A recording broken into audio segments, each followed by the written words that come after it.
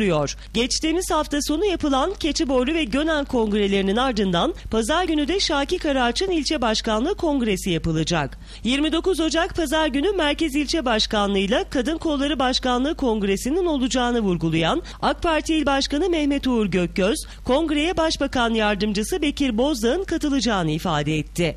Geçtiğimiz hafta pazar günü Keçiborlu ve Gönen kongrelerini icra ettik. Ee, bu hafta ise bu pazar Şarkı Karaç ilçemizin kongresini icra edeceğiz. 28 Ocak Cumartesi günü Yenişehir Bademli ilçemizin kongresini icra edeceğiz.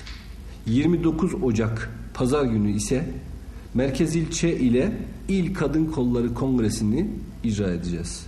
Ay, bu kongrelerimize pazar günü 29 Ocak Pazar günü Başbakan Yardımcımız, Devlet Bakanımız Sayın Bekir Bozdağ Bey katılacaklardır.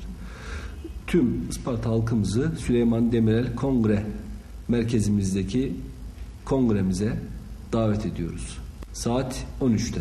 AK Parti Genel Merkezi 29 Ocak Merkez İlçe Kongresi için iki dönemdir bu görevini yürüten Kamil İnci üzerinde karar kıldı. İnci'nin tek adayla seçime gireceği kongrede yeniden Merkez İlçe Başkanı olması kesin gözüyle bakılıyor. Öte yandan genel merkezin kadın kollarında da mevcut Başkan Gülsüm Tunç Bilek'le yola devam edilmesi kararı aldığı edinilen bilgiler arasında. Ayrıca Şaki Karaç ilçe başkanlığı seçimine de İl Genel Meclis üyesi Hüseyin Yıldırım'ın tek liste